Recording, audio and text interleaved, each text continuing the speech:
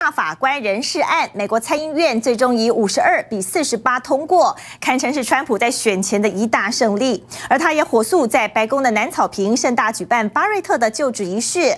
但是对手拜登却提醒川普要做好防疫，免得又像九月底提名大法官时出现了超级传播者，让白宫卷入染疫的风暴当中。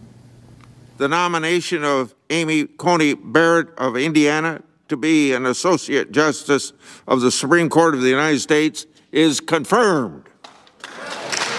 共和党小日在参议院多数党优势，最终表决以五十二比四十八票通过巴瑞特的大法官任命案。而人事案才刚过关，大约一小时，总统川普随即在白宫盛大举办巴瑞特的宣誓就职仪式。It's a privilege to be asked to serve my country in this office, and I stand here tonight truly honored and humbled. 即便已经是晚间九点，天色已暗，但川普依旧在白宫南草坪举办巴瑞特的就职典礼，而且看来心情大好，因为大法官人事案这一仗堪称川普选前的一大胜利。最高法院保守派对自由派大法官的席次也扩大到六比三。I just hope he is willing to have learned a lesson,